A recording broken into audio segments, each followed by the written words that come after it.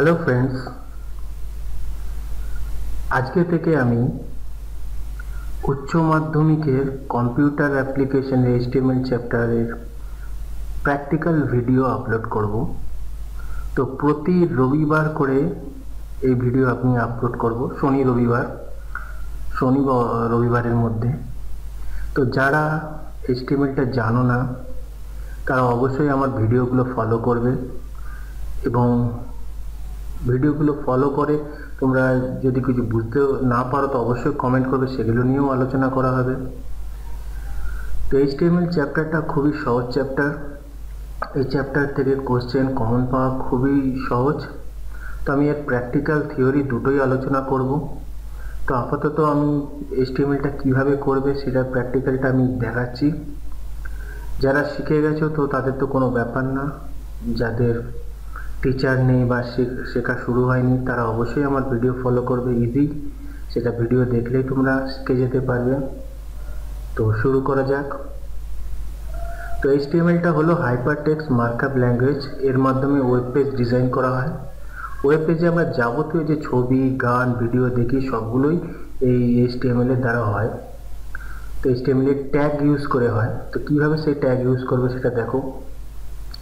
তো প্রথমে যে কোনো একটা এইচটিএমএল এডিটার ওপেন করবেন, যেমন নোটপ্যাড ড্রিমওয়েভার কপিকাপ অনেক কিছুই রয়েছে। তো প্রত্যেকটা কম্পিউটারে নোটপ্যাডটা অ্যাভেলেবেল তো ছাত্রদের সুবিধার জন্য নোটপ্যাডেই আমি করছি। তো নোটপ্যাডে কিছু ট্যাগ টাইপ করে সেটাকে একটা বিশেষভাবে সেভ করে এই ওয়েব পেজগুলো তৈরি হয়। তো ওয়েব পেজ তৈরি করার জন্য এইচটিএমএল ট্যাগ কীভাবে ব্যবহার করবে দেখে নাও। তো এইচটিএমএল ট্যাগ শুরু হয় এইচটিএমএল এই যে এই ট্যাগটা দিয়ে, তারপরে এইচটিএমএল ট্যাগ দিয়ে শেষ হয়। তো এইচটিএমএল এর মেইন ট্যাগ হচ্ছে এইগুলো, যেটা আমি আজকে ভিডিও দিয়েছি। ভিডিওর মধ্যে দেখতে পাচ্ছ, এইগুলোই হচ্ছে এটার মেন ট্যাগ এগুলো ছাড়া হবেই না। এরপর এইচটিএমএল এ ভিডিও সংযোজন মার্কেট টেক্সট পিকচার ইনসার্ট বিভিন্ন ধরনের কাজ রয়েছে, যেটা আমরা দেখে দেখে থাকি যে কোনো ওয়েবসাইট ওপেন করলে। তো সেই কাজগুলো করার জন্য বিভিন্ন ধরনের ট্যাগ রয়েছে। তো এই ট্যাগগুলো ছাড়া হবেই না। এটা basic HTML tag head tag title tag body tag তো এই চারটে ট্যাগ ছাড়া কোনো ওয়েব পেজ ডিজাইন করাই যাবে না। তো ফার্স্ট দেখো আমরা এইচটিএমএল ট্যাগ দিয়ে শুরু করলাম এবং তার শেষ রয়েছে শুরু আর শেষ করতে সেই একই ট্যাগ দিয়ে শেষ করতে হয়। শুধু তার জায়গায় একটা স্ল্যাশ লিখতে হবে শেষ করতে গেলে। হেড ট্যাগ লিখলাম হেড ট্যাগের ভেতরে থাকে টাইটেল ট্যাগ তো হেড ট্যাগের ভেতরে টাইটেল ট্যাগ মেটা ডেটা ইত্যাদি থাকে। তো আপাতত আমাদের উচ্চ মাধ্যমিক যে সিলেবাস আছে তা অনুযায়ী হেড ট্যাগের ভেতরে শুধু টাইটেল ট্যাগটারই আলোচনা করা হয়েছে। তো আমি সেটাই আলোচনা করব। তো দেখো হেড ট্যাগের ভেতরে আমরা টাইটেল ট্যাগ লিখলাম। টাইটেল দিলাম এইচটিএমএল ভিডিও নাম্বার ওয়ান আজকে আমি যে ভিডিওটা করছি, এটা এইচটিএমএল এর ভিডিও টিউটোরিয়ালের ফার্স্ট ভিডিও তাই এটা টাইটেলটা আমি দিলাম এইচটিএমএল ভিডিও নাম্বার ওয়ান তোমরা যে ওয়েব পেজটা করতে চাইছো, সেটা যে নাম দিতে চাও, সেই নাম তোমরা দিতে পারবে। তো এইচটিএমএল আমি এই নামটাই দিচ্ছি। আর তো কোনো নাম না, একটাই নাম থাকে, একটা পেজের টাইটেলে তো টাইটেল ট্যাগ টাইটেল ট্যাগ লিখলাম। ট্যাগটা কীভাবে লিখলাম? দেখো, এই সাইনটা দিলাম টাইটেল লিখলাম, আবার এই যেটার দেন সাইনটা দিয়ে টা ক্লোজ করে দিলাম। তার ভেতরে লিখলাম এইচটিএমএল ভিডিও নাম্বার ওয়ান যে টাইটেলটা আর কি দিতে চাও, সেই টাইটেলটা তারপরেই টাইটেলের কাজ শেষ, তো সেই ট্যাগটাও শেষ। মনে রাখবে, যদি কোনো ট্যাগের কাজ শেষ হয়ে যায়, সেটা ক্লোজও করতে হয়। কিছু কিছু এমটি ট্যাগ আছে, সেটা পরে আলোচনা করা যাবে। ম্যাক্সিমাম ট্যাগ যেটা শুরু হবে, তার শেষ করতে হবে, শেষ ট্যাগটাও দিতে হবে। তো আমাদের এইচটিএমএল এই ভিডিও নাম্বার ওয়ান টাইটেলটা দেওয়া হয়ে গেছে, তাই টাইটেল ট্যাগটা ক্লোজ করে দিচ্ছি। এই যে ক্লোজ করতে গেলে যে ট্যাগটা আগে লিখেছিলে, সেটাই লিখবে। তার আগে ঠিক এটা এই স্ল্যাশটা দিয়ে দেবে। তো দেওয়া হয়ে গেল টাইটেলটা ক্লোজ তো হেড ট্যাগের ভেতরে যেহেতু শুধু টাইটেলটাই আসবে, তাই জন্য হেড ট্যাগেরও কাজ শেষ। হেড ট্যাগ শুরু হলো টাইটেল ট্যাগ দিলাম। টাইটেলটা লিখলাম, লিখে টাইটেলটা ক্লোজ করলাম হেড ট্যাগের কাজ শেষ, তো হেড ক্লোজ করলাম। তো কীভাবে ক্লোজ করলাম? আগে যে হেডটা লিখেছিলাম যেভাবে, সেভাবেই আমরা লিখলাম। লেখার, লিখলাম কিন্তু তার আগে, সেই হেড কথাটার আগে ঠিক স্ল্যাশটা দিয়ে দিলাম। ব্যাস হেড ট্যাগের কাজ শেষ। এবার মানুষের দেহের মতোই হেড মাথা শেষ, তো দেহ শুরু। তো বডি ট্যাগ শুরু হলো। এই মুহূর্তে আমরা বডির ভেতরে কিছু লিখব না। মনে রাখবে যে এই বডির ভেতরে যাবতীয় জিনিস এই বডির ভেতরে লিখতে হবে বডির ট্যাগের ভেতরে লিখতে হবে। আমরা যে ছবি ইনসার্ট করা দেখি, গান, বাজনা ডাউনলোড করি যা আর কি ডিসপ্লেতে থাকে, কোনো ওয়েব পেজ ওপেন করার সাথে সাথে কম্পিউটারে বা মোবাইলে যে পিকচারটা ডিসপ্লে করে, যে ছবি আমরা দেখতে পাই টেক্সট দেখতে পাই, সেটা হচ্ছে এই বডি ট্যাগের ভেতরে। তো আপাতত দেখো যে আমি যদি বডি ট্যাগের ভেতরে কিছু না লিখি, তাহলে কি হয়? এবং এটাও দেখে নাও যে এইচটিএমএল কীভাবে তোমরা সেভ করবে। তো সেভ করার জন্য যে যেমন এডিটার ইউজ করছ এইচটিএমএল এডিটার সেটা তোমরা ইউজ করো। আমি আপাতত নোটপ্যাড ইউজ করছি। নোটপ্যাডে কীভাবে তুমি এইচটিএমএল সেভ করবে, সেটা তুমি দেখে নাও। তো ফার্স্টে নোটপ্যাডের ফাইলে যাবে। সেভ অথবা সেভ অ্যাজে গেলাম। যে ফোল্ডারে তোমরা, যে ফোল্ডার বা ড্রাইভে তোমরা ভিডিওটা ভিডিও বলছি এইচটিএমএল পেজটা ওয়েব পেজটা সেভ করতে চাইছো, তো সেইটা সিলেক্ট করে আমি ডেস্কটপে সেভ করতে চাইছি, তো ডেস্কটপ সিলেক্ট করলাম সিলেক্ট করার পরে আইটিউব ইন্ডিয়া নামক ফোল্ডারে সেভ করব তো প্রথমে একটা ফাইলের নাম দেওয়া যায় তো যেহেতু এটা ভিডিও নাম্বার ওয়ান তো ভি ওয়ান লিখলাম। তো লিখে সেভ করা যাবে না।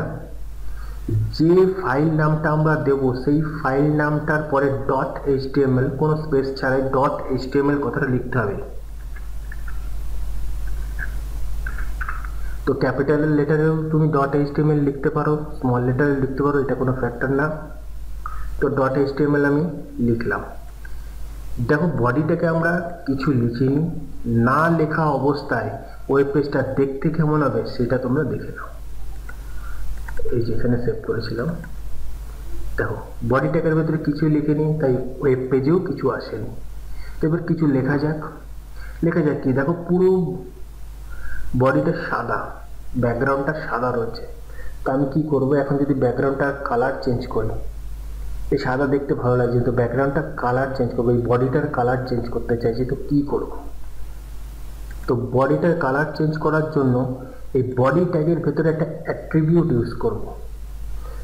ব্যাকগ্রাউন্ড কালার বিজি কালার নামে একটা অ্যাট্রিবিউট ইউজ করব। মনে রাখবে কোনো ট্যাগের পুরো ভেতরে যেটা থাকবে, সেটা হচ্ছে একটা অ্যাট্রিবিউট তো বডি ট্যাগের ভেতরে বডির ব্যাকগ্রাউন্ড কালার চেঞ্জ করার জন্য যে অ্যাট্রিবিউটটা ইউজ করা হয়, সেটা হচ্ছে বিজি কালার তো বডি ট্যাগের ভেতরে বডি কথাটা, পরে একটা স্পেস দিলাম। স্পেস দেওয়ার পরে বি জি কালার কথাটা লিখলাম। লিখলাম, এরপরে ইকুয়াল সাইন দাও। ইকুয়াল সাইন দেওয়ার পরে যে কালারটা আমরা করতে চাই, আপাতত এখানে হোয়াইট কালার রয়েছে।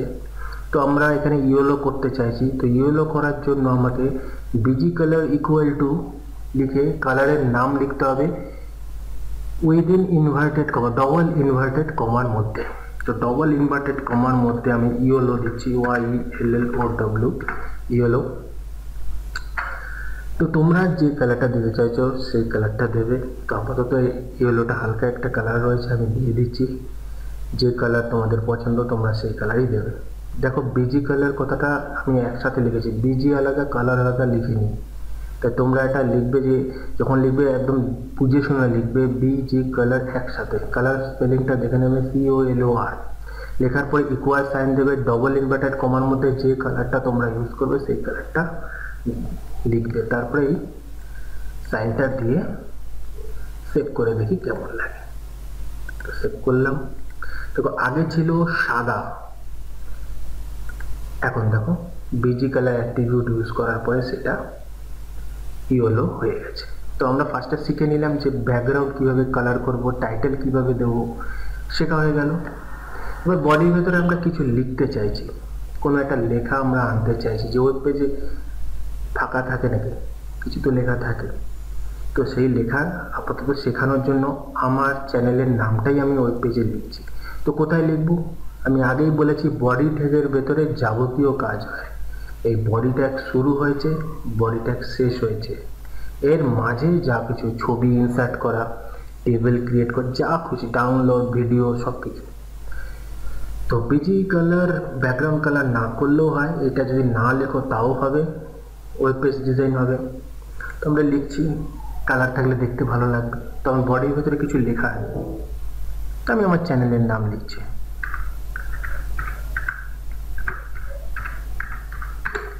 আমার চ্যানেলের নাম নিয়ে এবার সেভ করে দেখি কেমন পজিশনে রয়েছে। তো আগে এরকম ছিল, যখন আমরা কিছু লিখিনি তখন এই অবস্থায় ছিল। এখন দেখো পেজটা রিফ্রেশ করার পরে দেখো আই আইটিউব ইন্ডিয়া লেখাটা চলে এসছে। তো আই আইটিউব ইন্ডিয়া লেখাটা বড্ড অসহায় রয়েছে মনে হচ্ছে, একেবারে কোনায় রয়েছে, তবে এটাকে মিডিলে আনতে চাইছি। তো মিডিলে আনার জন্য কি করতে হবে? আমি যদি কোনো লেখাকে সেন্টারে আনতে চাইছি তাহলে এই স্পেস দিলে হবে না। আমি স্পেস দিয়ে দেখো। স্পেস দিয়ে আমি হয়তো নোটপ্যাডের মাঝখানে আনতে পারব, কিন্তু ওয়েব পেজের মাধ্যমে মাঝখানে আনতে পারব না। তাহলে একবার সেভ করেই দেখি, আনতে পারি কিনা আমি তো স্পেস দিয়ে মাঝখানে নোটপ্যাডে আনলাম ওয়েব পেজে আনতে পারি কিনা দেখো তো ওয়েব পেজে কিন্তু সেম জায়গাতেই রয়েছে। তার মানে কি? ওয়েব পেজে আনতে হলে ওয়েব পেজ তৈরি করার এইচটিএমএল সেই ট্যাগই ইউজ করতে হবে। নইলে স্পেস দিয়ে ওয়েব পেজে নোটপ্যাডে আনা যায় ওয়েব পেজে আনা যায় না। তো তার জন্য আমরা এই সেন্টারে আনার জন্য সেন্টার ট্যাগ ইউজ করব। সেন্টার ট্যাগ ইউজ করলাম। আমি চাইছি আইটিউব ইন্ডিয়া কথাটা সেন্টারে আসবে, বাকি কথাটা না। তাই আইটিউব ইন্ডিয়ার কথাটাকেই শুধু সেন্টারে আনলাম, তাই সেন্টার ট্যাগের কাজ শেষ। তো সেন্টার ট্যাগ ক্লোজ করতে হবে। কারণ এটাই মনে রাখবে যে এইচটিএমএল এর যার কাজ শেষ হয়ে যাবে, সেটাকে অবশ্যই ক্লোজ করে দিতে হবে।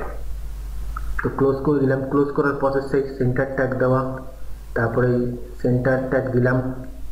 দিয়ে যে যে কথাটা, যে ছবিটা, টেবিলটা, টেক্সটটা যাই হোক, যেটাকে সেন্টারে আনতে চাইছে, সেইটা লিখবে। লেখার পরে সেন্টার ট্যাগ ক্লোজ করবে। ক্লোজ করার প্রসেস সেই সেমই যেভাবে ওপেন করেছে, সেটা লেখা কিন্তু লেখার আগে স্ল্যাশ দিয়ে দিতে হবে।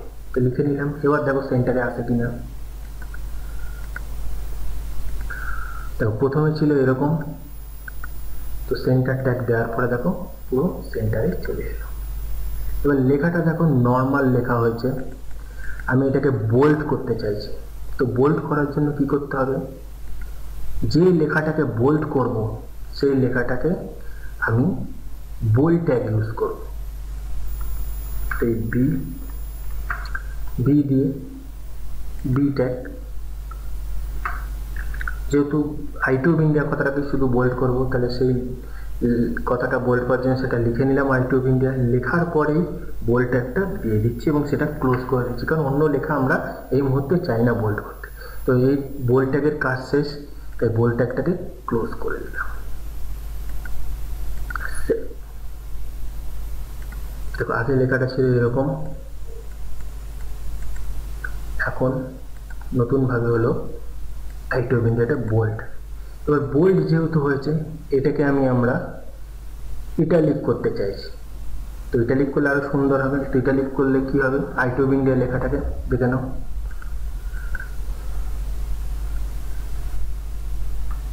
আই ট্যাগ আই ট্যাগ দিয়ে দিলাম।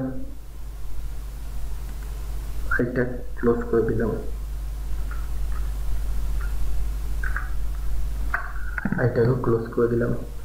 এই আই ট্যাগটা বোল ট্যাগের আগে দিলে বোল ট্যাগের পরে সেভ করতে হবে। বোল ট্যাগের ভেতরে দিলাম, তাই এটা বোল ট্যাগের আগেই ক্লোজ করলাম। এটা আগে দিলেও কোনো ব্যাপার হয় বোল ট্যাগের আগেও দিতে পারলে সে ইটালিকই হয়ে যাবে, কোনো প্রবলেম নেই সেখানে। সেভ করলাম। আগে ছিল এরকম, তো এখন সেভ করার পরে। এবার দেখা যাক, আমরা এই ওয়েব পেজটাতে আরও দু তিনটে লাইন লিখছি সেটার পজিশন কেমন হয় দেখে নিই। তো আমি আমার নামটা লিখছি এবং আমি এটা চাইছি যে আমার নাম প্রথমে আসুক এবং পরের লাইনে আমার চ্যানেলের নাম আসুক। তো প্রথমে আমি নামটা টাইপ করছি।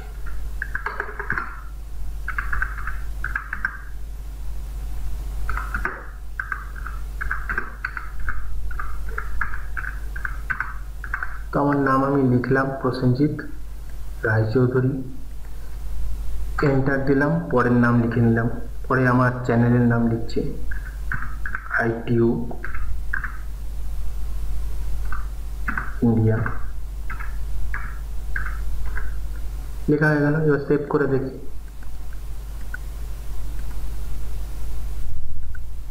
দেখো লেখা তো চলে এলো, কিন্তু একই লাইনের মধ্যে প্রসেনজিৎ রায়চৌধুরী এবং আইটিও ইন্ডিয়ার কথাটা এলো। অথচ নোট প্যাডে আমরা প্রথম লাইনে লিখলাম প্রসেনজিৎ, দ্বিতীয় লাইনে লিখলাম আইটিও ইন্ডিয়া তাহলে তো প্রবলেম হয়ে গেল। তাহলে একাধিক লাইন লিখলে কি করতে হবে? তাহলে বিআর ট্যাগ ইউজ করতে হবে। বিআর ট্যাগ ইউজ করতে হবে। বিআর ট্যাগ হচ্ছে একটা এমটি ট্যাগ এমটি ট্যাগ মানে যেমন অন্যান্য ট্যাগ আমরা সেন্টার ট্যাগ দিয়েছি সেন্টার ট্যাগ আবার ক্লোজও করেছি, যেখানে সেন্টার ট্যাগ ক্লোজ করেছি। বি ট্যাগ মানে বোল ট্যাগ ইউজ করলাম বোল ট্যাগটাকে ক্লোজ করেছি। আই ট্যাগ ইউজ করলাম আই ট্যাগটাকে ক্লোজ করেছি। এই হেড ট্যাগ করলাম হেড ট্যাগটাকে ক্লোজ করেছি। টাইটেল ট্যাগ করলাম টাইটেল ট্যাগ ক্লোজ করেছি। বডি ট্যাগ এসটিএমএল ট্যাগ সবই ওপেন এবং ক্লোজ দুটোই হয়েছে। তো এই ধরনের ট্যাগকে বলে কন্টেনার ট্যাগ যা ওপেন এবং ক্লোজ দুটো রয়েছে। আর কিছু কিছু ট্যাগ রয়েছে এমটি ট্যাগ যা শুধু ক্লোজ রয়েছে ওপেন নেই। তো তেমনই একটা ট্যাগ হচ্ছে বিআর ট্যাগ তো এই বিআর ট্যাগের মাধ্যমে আমরা ওয়েব পেজে একাধিক লাইন লিখতে পারব। যেমন প্রসেনজিৎ রায়চৌধুরী এই কথাটা লিখলাম। এরপরে আরেকটা লাইন লিখতে চাইছি। তো যে লাইনটা লেখার পর আরেকটা লাইন লিখতে চাইব, তো সেই লাইনটার পরে বিআর ট্যাগ ইউজ করতে হবে। অর্থাৎ প্রসেনজিৎ রায়চৌধুরীর পরে বিআর ট্যাগ ইউজ করতে হবে। কারণ প্রসেনজিৎ রায়চৌধুরীর পরে আমরা আইটিউব ইন্ডিয়ার কথাটা লিখতে চাইছি, পরের লাইনে তো বিআর ট্যাগ ইউজ করছি। কি করে বিআর ট্যাগটা ইউজ করবে দেখো। বিআর ট্যাগ এভাবে লিখতে হবে। শুধু ক্লোজ ওপেন হবে না। তো আমরা সেভ করে দেখি কি হয়েছে। সেভ প্রথমে ছিল এরকম অবস্থায়। বিআর ট্যাগ দেওয়ার পরে এরকম অবস্থা। তো আজকে এতটাই থাক। তো আজকে আমরা কি শিখলাম? টাইটেল কীভাবে দেব? কোনো লেখাকে সেন্টারে কি করে আনব, সেটাকে বোল্ড ইটালি কি করে করব? আবার ওই পেজে কোনো একটা লাইন লিখলাম, সেই লাইনের পরে আরও কিছু লাইন কি করে লিখব সেটা শিখলাম।